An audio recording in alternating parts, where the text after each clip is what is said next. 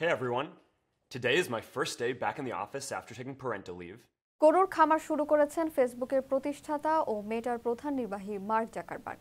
আর খাদ্য হিসেবে এসব গরুকে বিয়ার খাওয়াচ্ছেন তিনি। গরুর খামার করার কথা ফেসবুক কর্ণধার নিজেই জানিয়েছেন। বুধবার ফেসবুকে এক পোস্টে জাকারবার্গ জানান, হাইওয়াই দ্বীপপুঞ্জের কাওয়াইয়ের কোলাও খামারে গরু পালন শুরু করেছেন তিনি। তার লক্ষ্য বিশ্বের সবচেয়ে ভালো মানের গরুর মাংস উৎপাদন করা। জাকারবার্গ জানান, খামারে রয়েছে জাপানি গুয়াগু ও আঙ্গু জাতের গরু। খাদ্য হিসাবে এসব গরুকে ম্যাকাডেমিয়া নামের এক ধরনের বাদাম গাছ ও বিয়ার খেতে দেওয়া হয়। প্রতিটি গরু বছরে পাঁচ হাজার থেকে দশ হাজার পাউন্ড খাবার খায়। তবে গরুর খাদ্যের জন্য দ্বীপটিতে প্রচুর ম্যাকাডেমিয়ান গাছ রয়েছে। তিনি আরও জানান, এই গরুর খামারের যাত্রা সবে শুরু হয়েছে।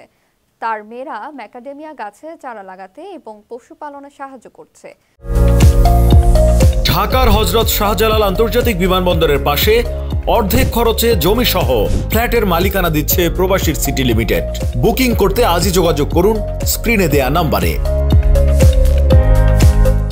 পোস্টটিতে মার্ক জুকারবার্গ একটি ছবি যুক্ত করেছেন। সেখানে তার সামনে ছিল রোস্ট করা গরুর মাংস। আরেকটি ছবিতে দেখা যাচ্ছে তার মেয়ে খামারের কাজ করছে। বিশেষজ্ঞদের মতে, গুয়াঙ্গো একটি জাপানি জাতের গরু। এটার একটি ভ্যারাইটি গোস্ত কবে বিফ নামে পরিচিত? জাপানের কোবে নামক এলাকায় বিশেষভাবে এই গরু পালন করা হয় এবং এর গোস্ত চল্লিশ হাজার টাকা কেজি। এই গরুকে প্রতিদিন বিয়ার খাওয়ানো হয়, যেন গরুতে চর্বি জমে। শুধু তাই নয়, প্রতিদিন একজন রাখাল দিনে আট ঘণ্টা গরুর শরীর ম্যাসেজ করেন, যেন গরুর গোস্ত নরম হয়।